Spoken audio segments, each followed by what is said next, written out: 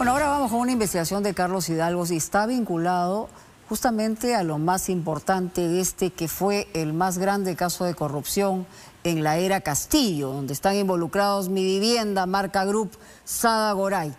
La pregunta del millón es qué pasa con las decenas o miles de personas que depositaron su sueño en estas uh, casas de interés social. ¿Va a ocurrir algo para que ellas tengan una luz al final del túnel? Esa es la pregunta que se hace Carlos Hidalgo y hay respuestas. Vamos con la nota. Esta enorme extensión de terreno pertenece al proyecto inmobiliario Barranca Bonita, vinculado a Marca Group, empresa de Sada Goray, la protagonista del mayor escándalo de corrupción del gobierno de Pedro Castillo. Ni siquiera daba CVs, daba nombres y le decían que yo los ubique, porque ellos no tenían ningún perfil. Pues bien, el Fondo Mi Vivienda tomaba una drástica decisión al respecto. El 22 de junio pasado, el Fondo Mi Vivienda le remite esta carta a Corfit Corporación Fiduciaria, la empresa fiduciaria encargada de administrar los dineros del proyecto Barranca Bonita. Le pide, en buena cuenta, que se devuelva de manera inmediata los recursos a las familias que aportaron con sus ahorros para el sueño de la casa propia, a las entidades bancarias que prestaron los créditos hipotecarios y al mismo fondo de vivienda con sus bonos familiares. La medida alcanza dos proyectos más vinculados a Marca Group, Piura Bonita y Villa de Alto Larán en Chincha.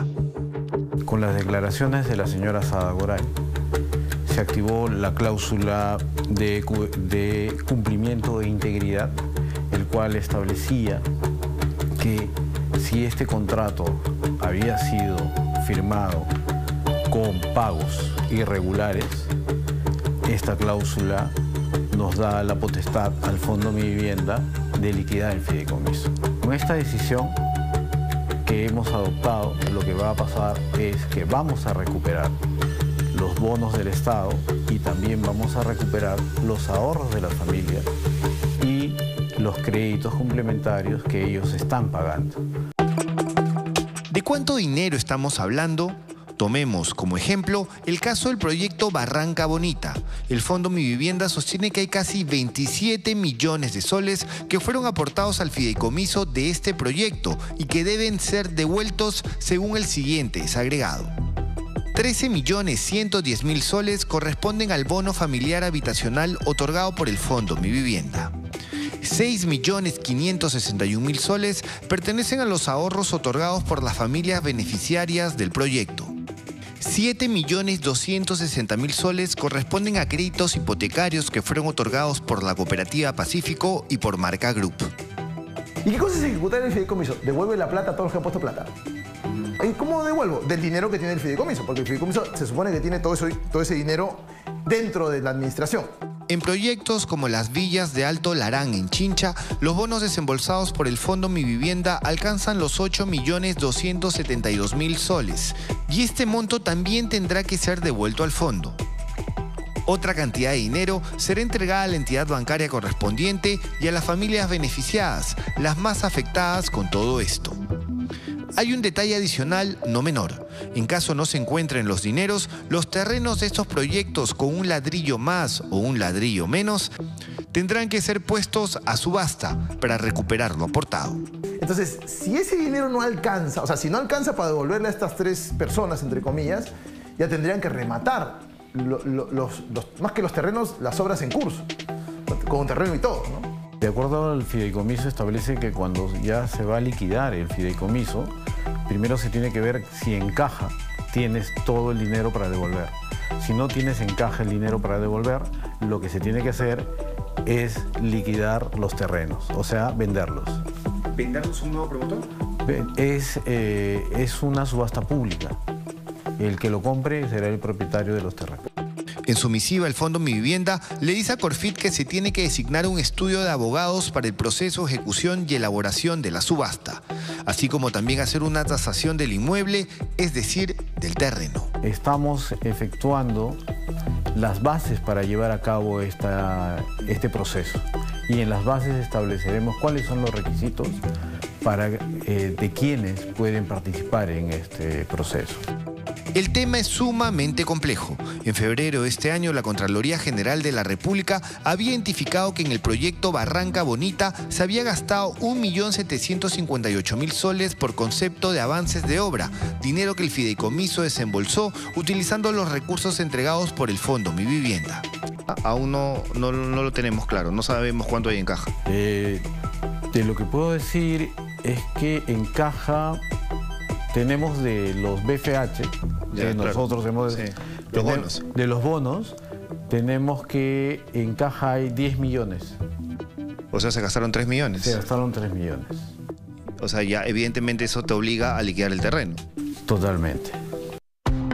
Este giro en el caso de los proyectos inmobiliarios de Marca Group tiene una sola víctima, el beneficiario que anheló una casa propia y que ahora ve comprometida su inversión y también su sueño. Y no hay palabra que valga. El problema son las familias. O sea, al fondo de mi vivienda le van a devolver el dinero, pero el problema son las familias, porque estas familias, número uno, ya tienen unos ahorros y estaban con un plazo para poder mudarse. ¿Qué va a pasar? Al ejecutarse esto, esto va a retrasarse mucho más. Y de repente no va a ser de acá a seis meses, sino de repente con suerte de acá a un año. La decisión que ha adoptado el Fondo Mi Vivienda es una decisión que ha sido analizada técnicamente. Lo que persigue es, el, es resguardar los intereses del Estado, que son los bonos familiares habitacionales, y también resguardar los intereses de las familias beneficiarias, quienes han dado ahorros y también están pagando créditos por estos inmuebles. No hay que olvidar que los fideicomisos de Marca Group son uno de los temas centrales de la investigación contra el expresidente Pedro Castillo y el exministro de Vivienda Heiner Alvarado y que tiene a Sada Goray como aspirante a colaborador eficaz.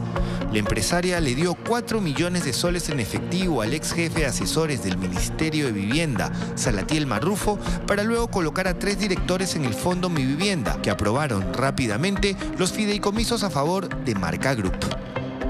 ¿Y qué hay con respecto a los otros proyectos vinculados a Marca Group? Tanto Praderas de Cacatachi, cuya problemática fue expuesta por punto final hace unas semanas, como Chiclayo Bonito, se encuentran en arbitraje, por lo que la medida del Fondo Mi Vivienda no los alcanza. Sin embargo, son de los proyectos donde se ha desembolsado más dinero, 45 millones en bonos para Chiclayo Bonito y 32 millones para Praderas de Cacatachi. Ambos también tienen desembolsos considerables por avance de obra. Eso sin contar la letra menuda. Se le va a devolver en, por concepto de ahorros a los beneficiarios, a la gente que dio su plata para como cuota inicial, etc. se le va a devolver los ahorros dados por las familias para Claro. la adquisición de los inmuebles. Y en el tema de los créditos, ¿cómo hacer? Porque en realidad ese es dinero que va a la entidad bancaria, no va al, al- al, digamos, al beneficiario final. Lo que pasa es que en ese caso, eh, las familias lo que están haciendo es pagando ese crédito. Por eso le Se les va a devolver a las familias lo que han venido pagando. incluyendo el interés, porque por lo general uno paga el interés en las primeras cuotas de una hipoteca. Sí, incluido en los... O sea, todo lo que ha pagado se le va a devolver el íntegro de lo que ha venido pagando. pero a través de la entidad bancaria. O sea, el dinero va a ir primero a la entidad bancaria que ha dado los créditos, o no necesariamente. Mm, mire, eso lo, estamos, lo vamos a analizar. Buscamos a Marca Group que nos envió el siguiente comunicado en donde fijaron su posición. Para esta empresa, la decisión del Fondo Mi Vivienda es arbitraria y no observa las reglas del contrato del fideicomiso. Ellos señalan que no han incumplido ninguna parte de los contratos y que con esta decisión unilateral se perjudica a 1.800 familias que han adquirido viviendas para estos proyectos.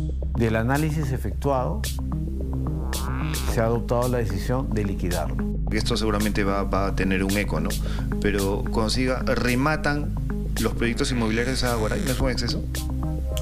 ¿Es en buena cuenta eso? Es, es una liquidación de un fideicomiso que se rige por un contrato. Pero en términos coloquiales es un remate. Sí, es un remate de los terrenos. La cooperativa Pacífico nos respondió vía esta carta señalando que sus acreencias están garantizadas en este proceso. En buena cuenta, Cooperativa Pacífico era la que realmente daba los créditos a través de Marca Group. Bueno, en los fideicomisos donde estaba eh, la cooperativa Pacífico, también participa Marca Group como fideicomisario junior. Sí, claro. O sea, también podría dar los créditos. Los dos estaban ahí. Entonces, Pero no sabemos en qué porcentaje no de ese ítem créditos es marca y qué eh, lo que me está diciendo. Eh, no lo tengo identificado, pero lo tenemos que identificar porque al momento de hacer las devoluciones tenemos que saber quién dio el crédito y en qué monto de crédito. ¿Cuántas familias han visto afectadas con esto? Nosotros hemos desembolsado en estos tres proyectos 545 bonos, es decir, 545 familias. Y estamos hablando de un total de dinero de más o menos 21 millones de soles, 22 millones de soles. Eh, 21 millones 421 mil. En medio de la ejecución de esta medida, los que se ven afectados son siempre el beneficiario final, aquel que ha ahorrado su dinero para cumplir una meta, la de la casa propia, y que hoy parece ver truncado su deseo. Como se dice, la corrupción paga y paga mal.